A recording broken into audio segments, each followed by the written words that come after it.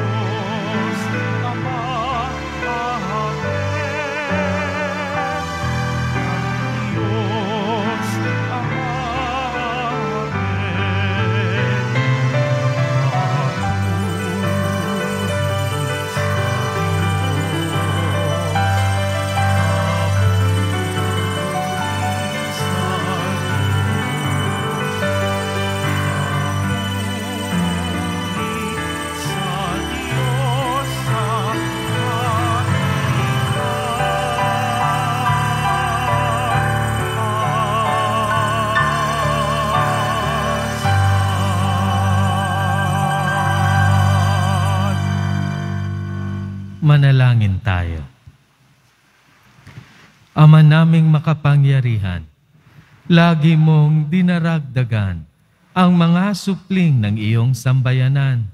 Ipagkaloob mong ang tinanggap nila sa pananampalataya ay laging pakinabangan nila sa pagdiriwang ng banal na salo-salo sa pamagitan ni Heso Kristo kasama ng Espiritu Santo magpa sa walang hanggan.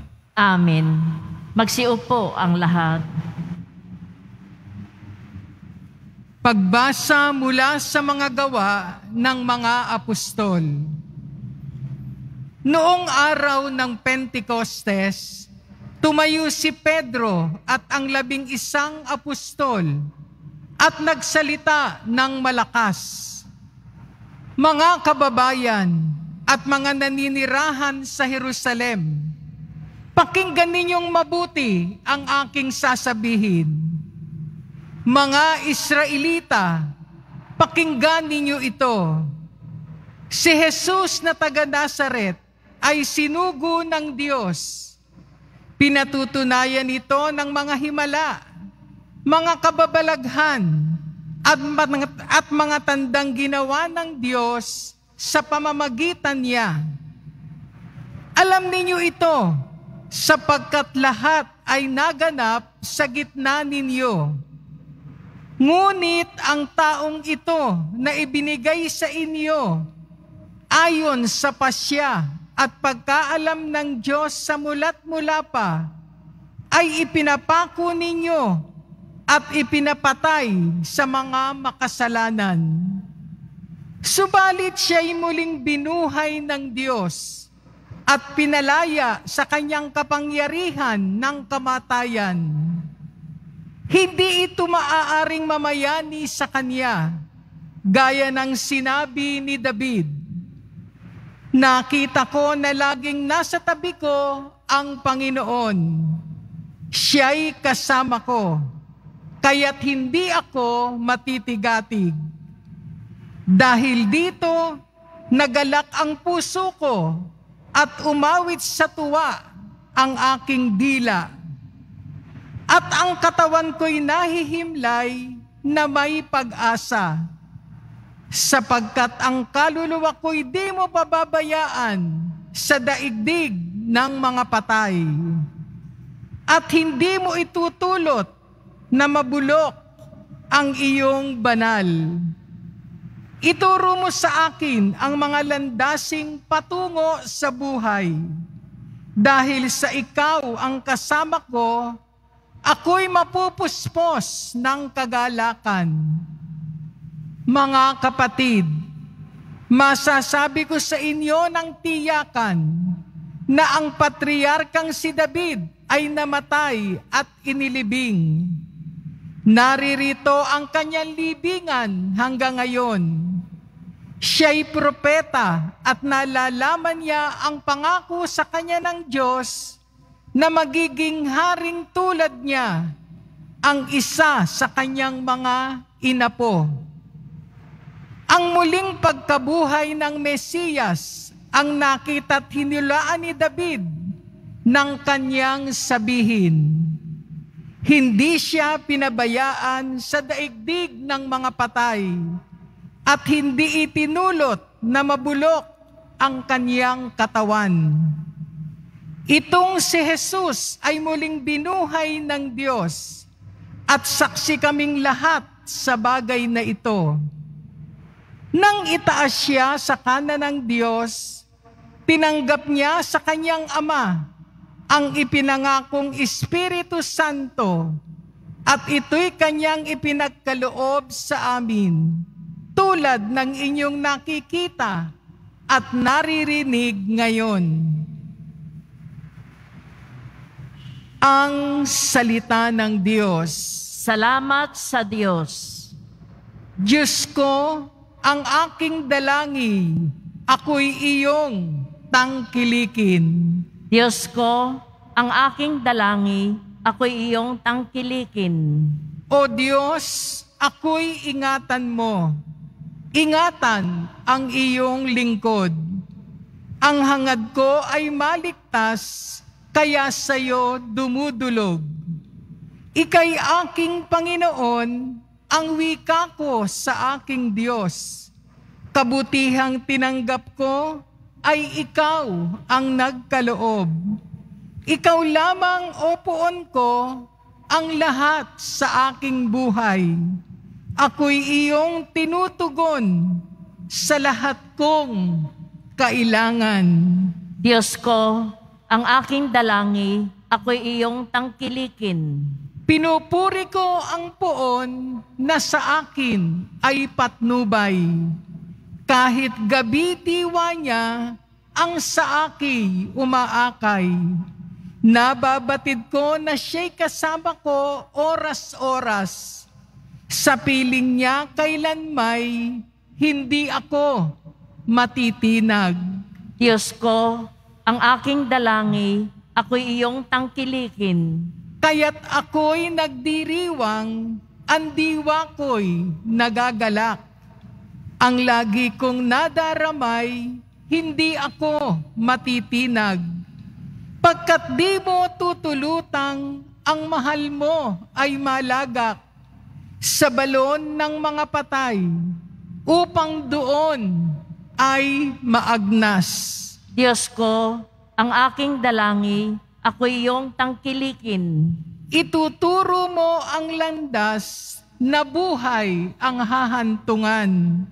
Sa piling mo'y madarama ang lubos na kagalakan. Ang tulong mo'y nagdudulot ng ligayang walang hanggan. Diyos ko, ang aking dalangi, ako'y iyong tangkilikin. Magsitayo ang lahat. Alleluia.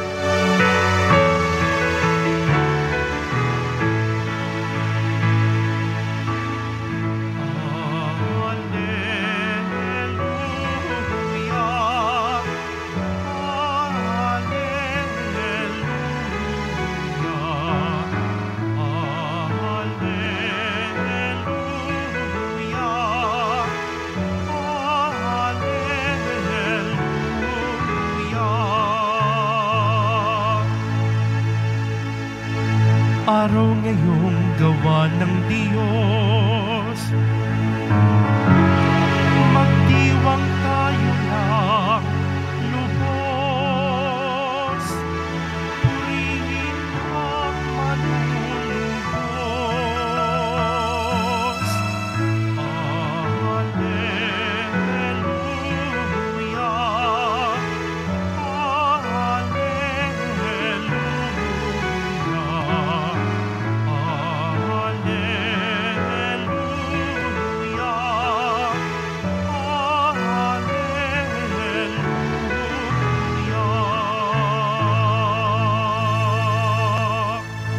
Sumainyo ang Panginoon. At sumaiyo rin. Ang mabuting balita ng Panginoon ayon kay San Mateo. Papuri sa iyo, Panginoon. Noong panahong iyon, dali-daling umalis ang mga babae ng libingan. Pinagharian sila ng magkahalong takot at galak at patakbong nagpunta sa mga alagad upang ibalita ang nangyari. Ngunit sinalubong sila ni Jesus at binati at lumapit sila. Niyakap ang kanyang paa at sinamba siya. Sinabi sa kanila ni Jesus, Huwag kayong matakot. Humayo kayo at sabihin sa mga kapatid ko na pumunta sila sa Galilea at makikita nila ako roon. Pagkaalis ng mga babae, pumunta naman sa lungsod ang ilan sa mga kawal na nagbabantay sa libingan at ibinalita sa mga punong saserdote ang lahat ng nangyari. Nagtipon-tipon ang mga ito at matapos makipagpulong sa matatanda ng bayan, sinuhulan ng malaki ang mga kawal at inutusan sila ng ganito ang ipamalita. Samantalang natutulog kami kagabi, naparito ang kanyang mga alagad at ninakaw ang bangkay. Sinabi pa nila, Huwag kayong mag-alaala, makararating man ito sa gobernador, kami ang bahala. Tinanggap ng mga bantay ang salapi at ginawa ang bilin sa kanila. Hanggang ngayon, ito pa rin ang sabi-sabi ng mga Hudyo. Mga kapatid, ang mabuting balita ng Panginoon. Pinupuri ka namin, Panginoong Heso Kristo. Magsiupo ang lahat. Buhay ang ating mahal na poong Jesus Nazareno, mga kapatid. Siya'y muling nabuhay. Siya'y kapiling natin. Siya'y kasakasama natin. Yan mga kapatid ang ninanais na ipaalala sa atin sa ating mga pagbasa sa mga panahong ito. Ngunit kapag ang ating mga puso ay puno ng garbo at hindi kayang magpakumbaba, hindi natin madama ang presensya ng ating mahal na poong muling nabuhay. Mga kapatid, tayo ay lunes sa oktaba ng muling pagkabuhay at narinig natin sa ating ibanghelyo kung paano na pagdating nila Maria Magdalena at isa pang Maria sa libingan ng ating mahal na poong Jesus Nazareno, nakita nilang naalis na ang malaking batong nakatabo nito. At sa batong ito, may nakaupong isang anghel na nagbalita sa kanila na wala na doon ang ating mahal na poon.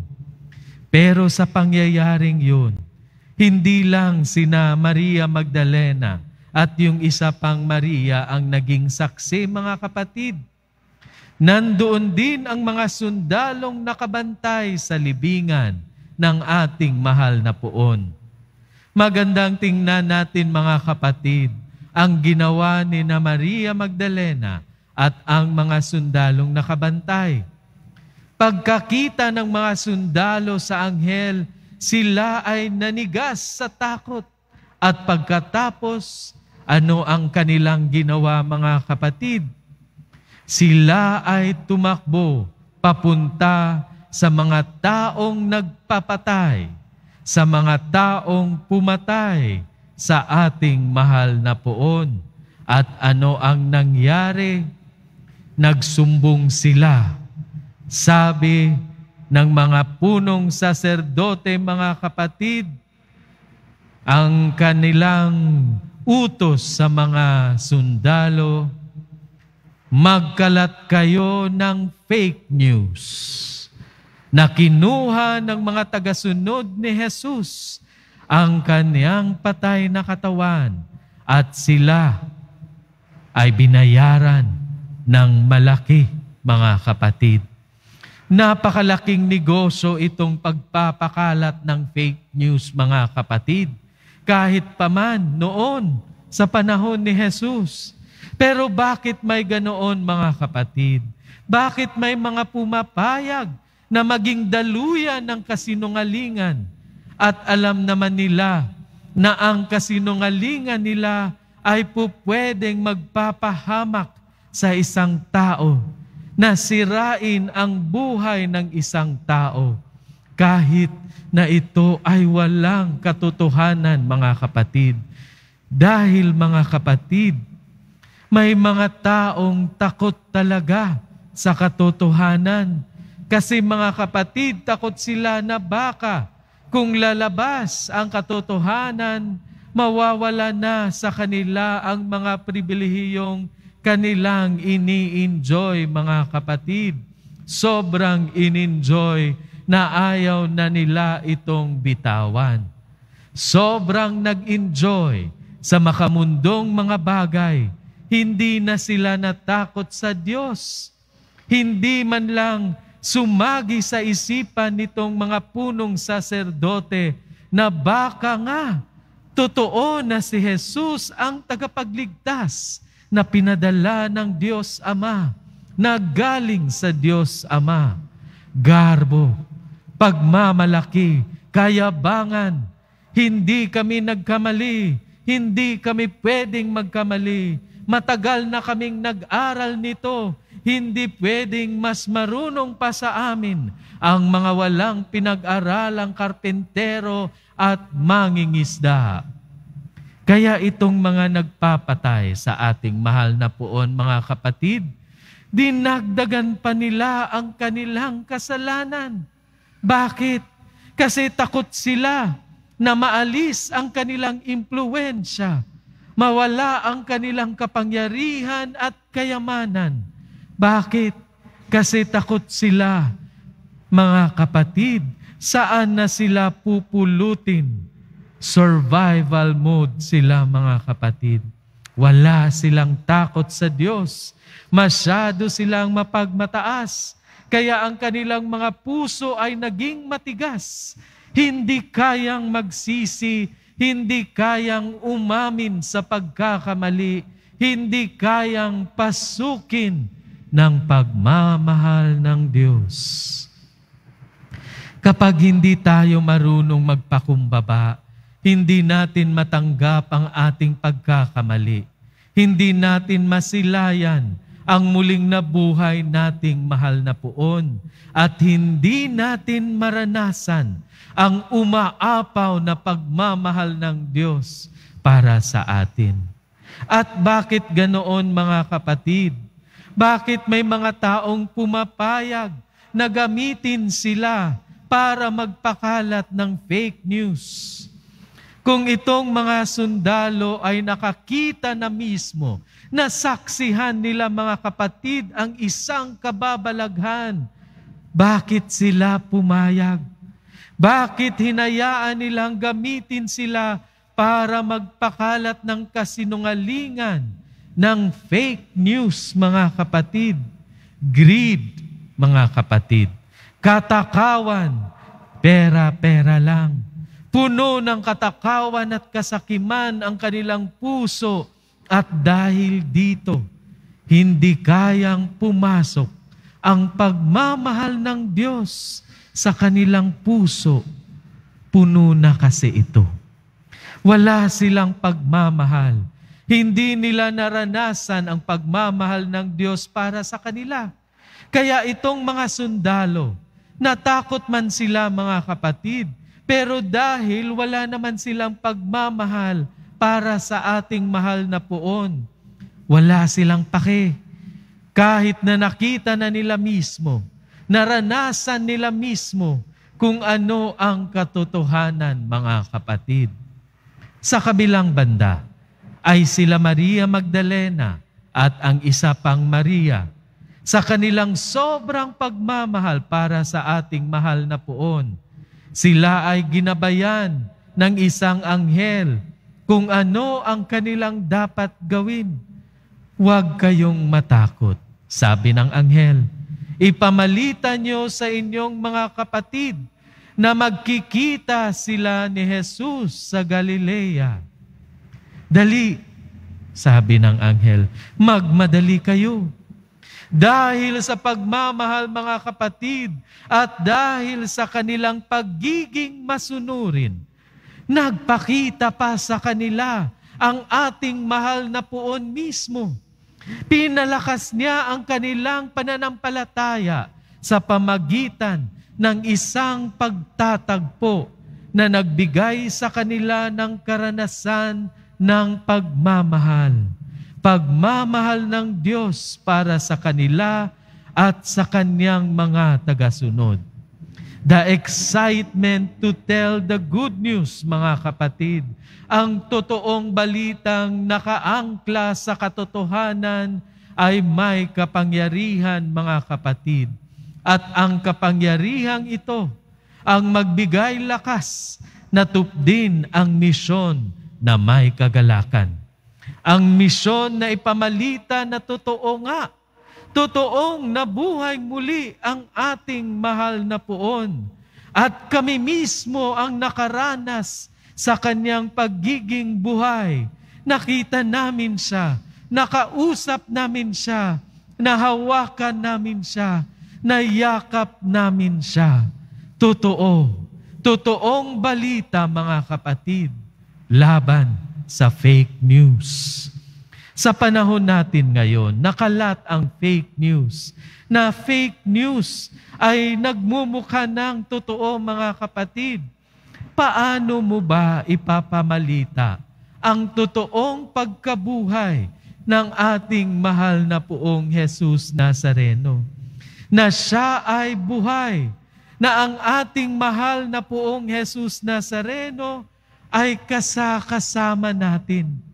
Hari nawa mga kapatid, na sa ating karanasan ng muling pagkabuhay ng ating mahal na puon, at sa ating pagpapanibagong buhay dahil sa karanasang ito, sa karanasan ng pagmamahal. Hari nawa, hindi tayo matatakot na ipamalita na ang ating mahal na puon ay buhay. Hindi niya tayo iniwan at siya ay patuloy na nagbibigay sa atin ng lakas, ng gabay, ng tulong para ating totoong maisabuhay, totoong maranasan ang pagmamahal ng Diyos para sa atin. Ipagdasal natin mga kapatid na tayo ay magkaroon ng isang pusong mapagkumbaba, isang puso na puno ng pagmamahal ng ating tunay na maranasan ang pagmamahal ng Diyos para sa atin. Hari nawa. Magsitayo ang lahat.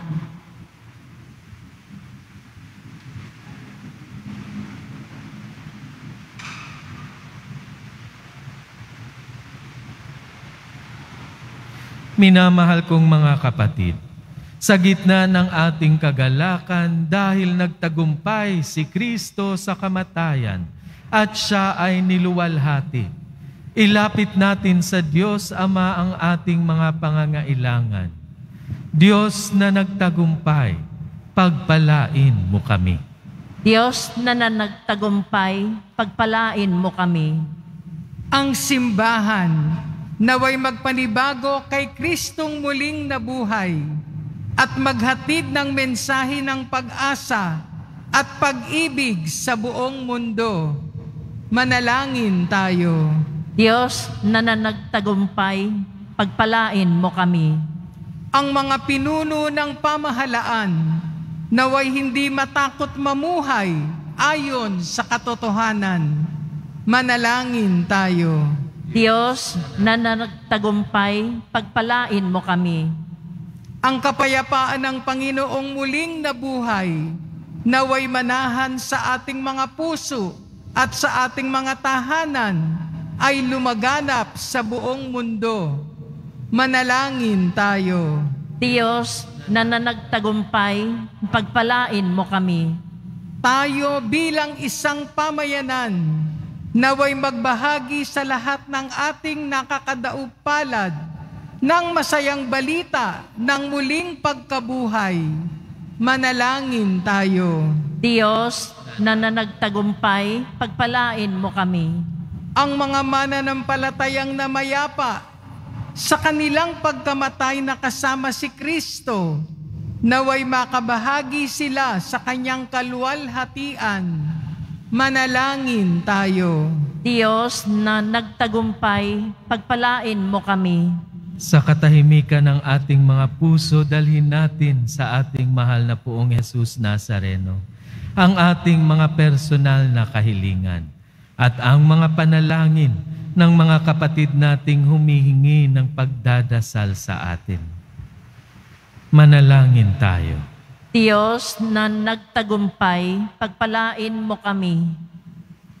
Diyos na aming Ama, idinadalangin namin na ang kagalakan ng Pasko ng muling pagkabuhay ay tumimo nawa sa aming mga isip at puso at lalo kaming ilapit sa iyo.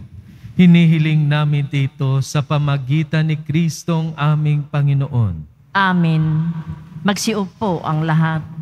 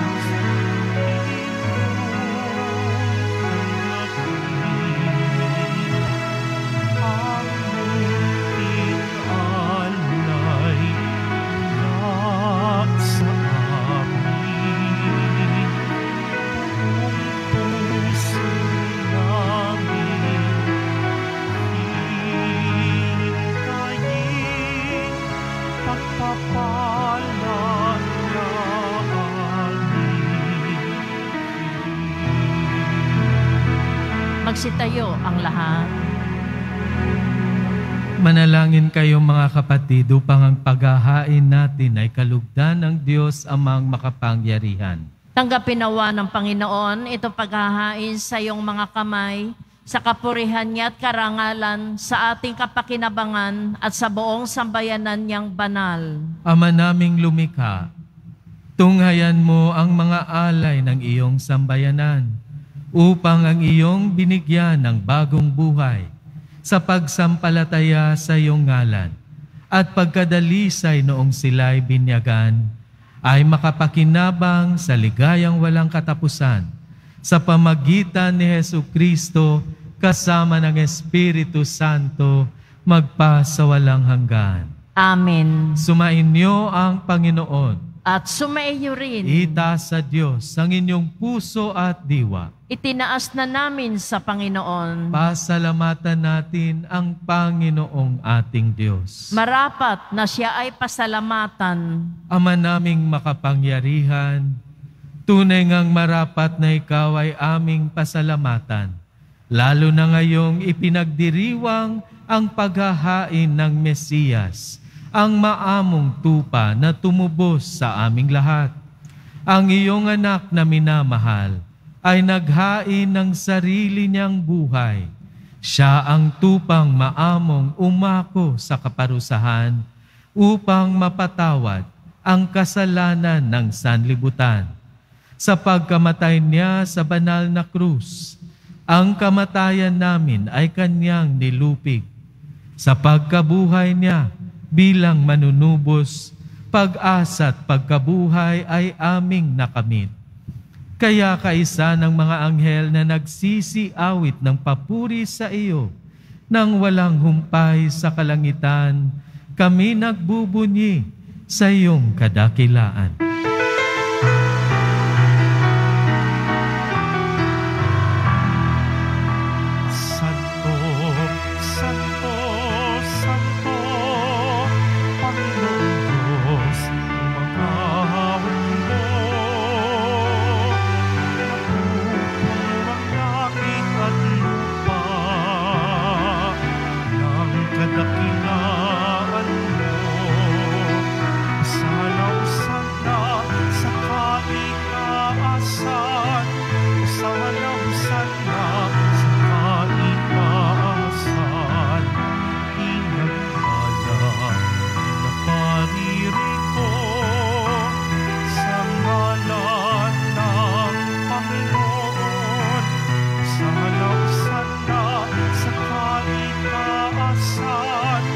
salang sana sa kalikasan.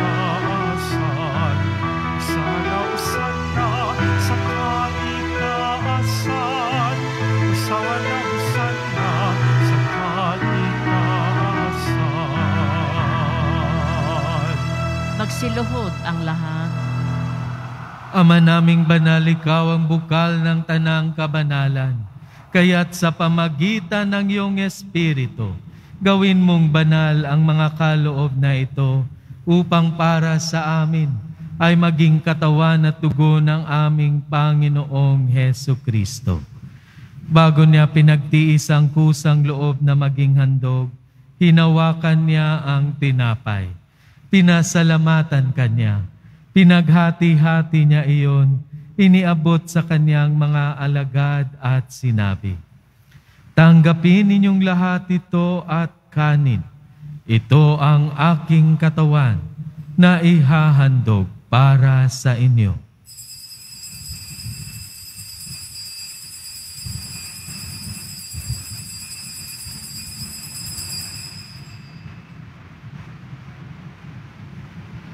Gayon din naman nung matapos ang hapunan, hinawakan niya ang kalis. Muli kanyang pinasalamatan. Iniabot niya ang kalis sa kanyang mga alagad at sinabi, Tanggapin ninyong lahat ito at inumin. Ito ang kalis ng aking dugo ng bago at walang hanggang tipan. Ang aking dugo na ibubuhos para sa inyo at para sa lahat sa ikapagpapatawad ng mga kasalanan. Gawin ninyo ito sa pag-alala sa akin.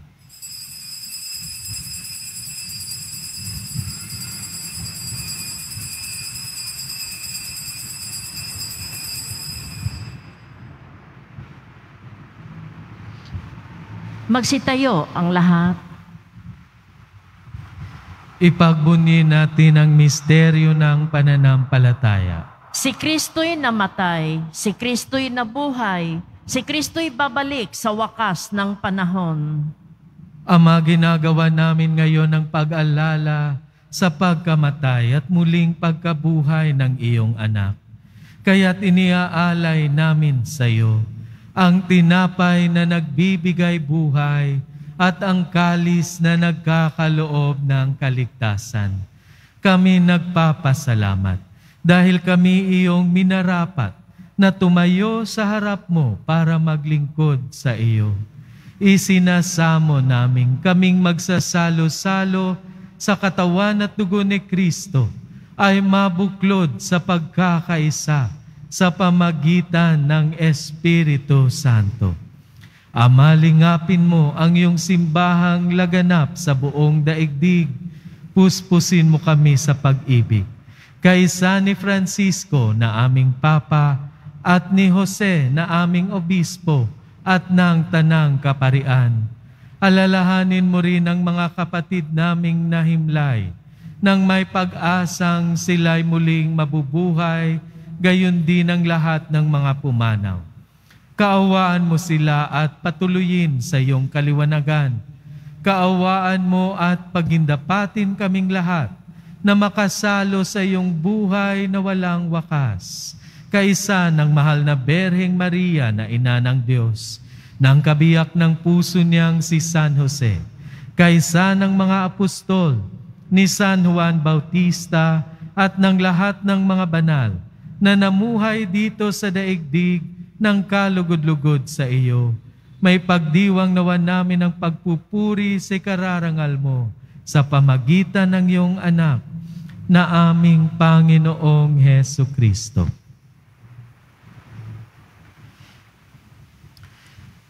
Sa pamamagitan ni Kristo kasama niya at sa Kanya, ang lahat ng parangal at papuri ay sa iyo. Diyos amang makapangyarihan, kasama ng Espiritu Santo, magpa sa walang hanggan.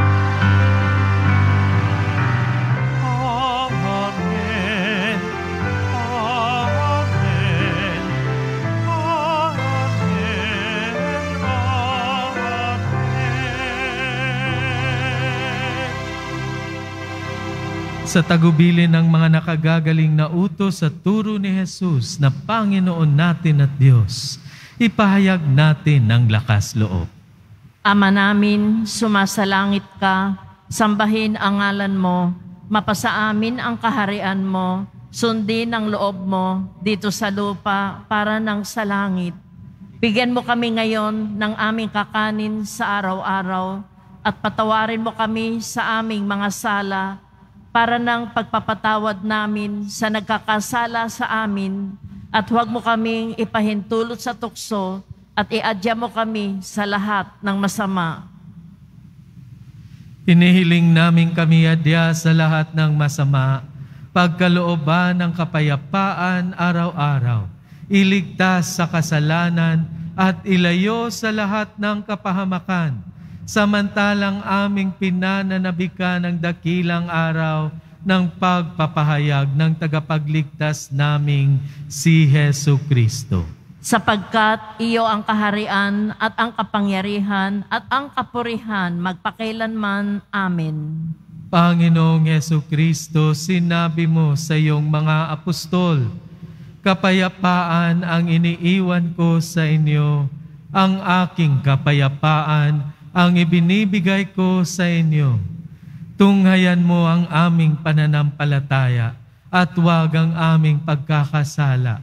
Pagkalooban mo kami ng kapayapaan at pagkakaisa ayon sa iyong kalooban, kasama ng Espiritu Santo, magpa sa walang hanggan. Amen. Ang kapayapaan ng Panginoon ay laging sumainyo. At sumaiyo rin Magbigayan kayo ng kapayapaan sa isa't isa. Kordero ng Diyos na nag-aalis ng mga kasalanan ng sanlibutan, maawa ka sa amin. Kordero ng Diyos na nag-aalis ng mga kasalanan ng sanlibutan, maawa ka sa amin. Kordero ng Diyos na nag-aalis ng mga kasalanan ng sanlibutan, ipagkaloob mo sa amin ang kapayapaan. Magsiluhod ang lahat.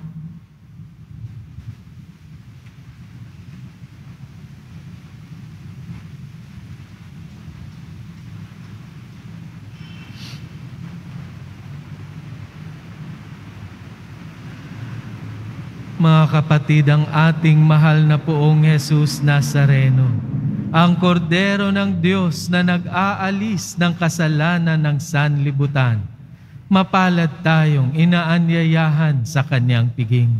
Panginoon, hindi ako karapat-dapat na magpatuloy sa iyo, ngunit sa isang salita mo lamang ay gagaling na ako.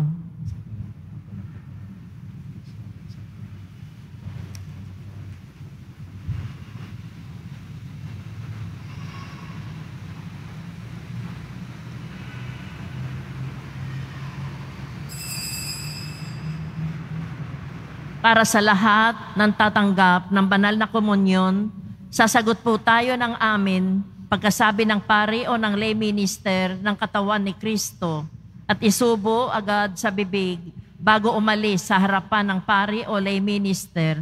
Sumunod po tayo. Maraming salamat po.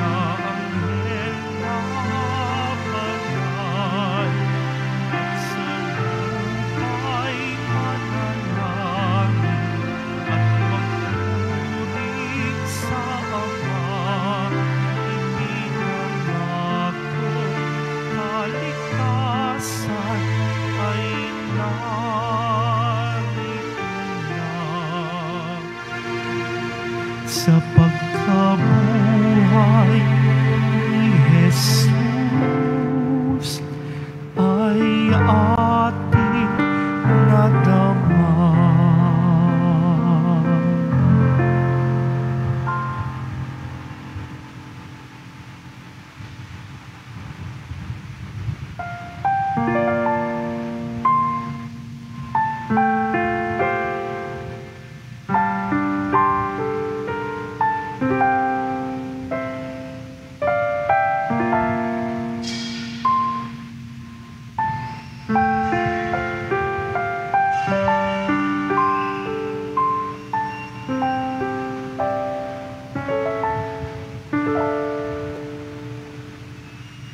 Announcement, ang banal na relikya ni Santa Teresita ng Batang si Jesus ay dadalaw sa ating simbahan sa darating na Sabado, April 15, sa ganap na ikapito ng gabi.